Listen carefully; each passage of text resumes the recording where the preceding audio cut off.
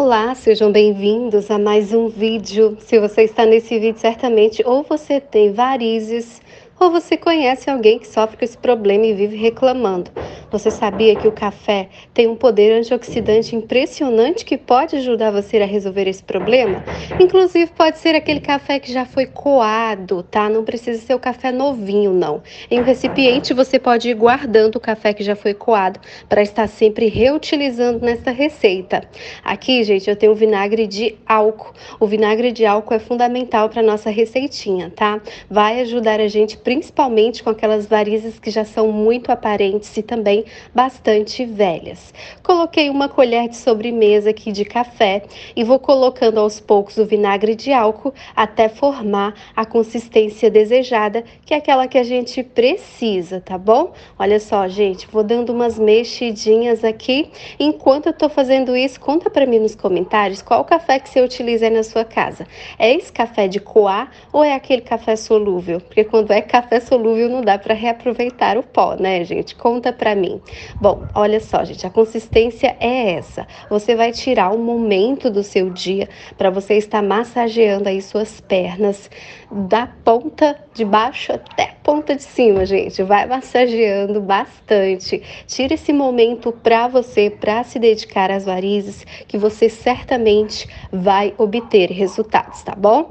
Aqui, gente, vou fazendo alguns movimentos circulares.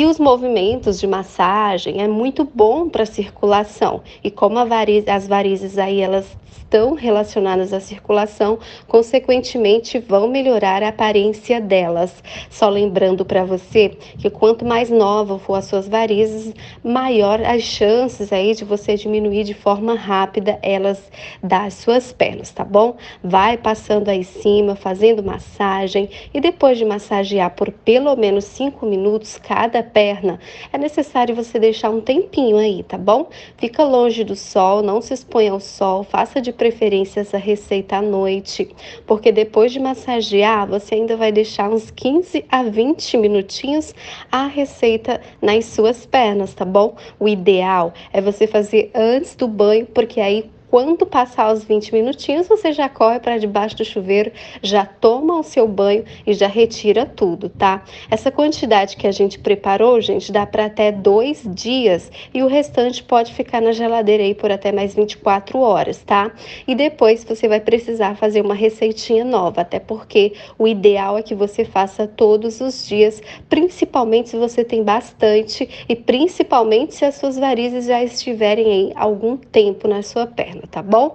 E é isso, gente. Surgiu alguma dúvida? Deixa nos comentários, tá? Os comentários de vocês, vou lá, vou responder cada um. Quero dar boas-vindas a você que está aqui pela primeira vez e convidar você a se inscrever. Temos vídeos todos os dias para você que é dona de casa. Beijo grande e tchau, tchau.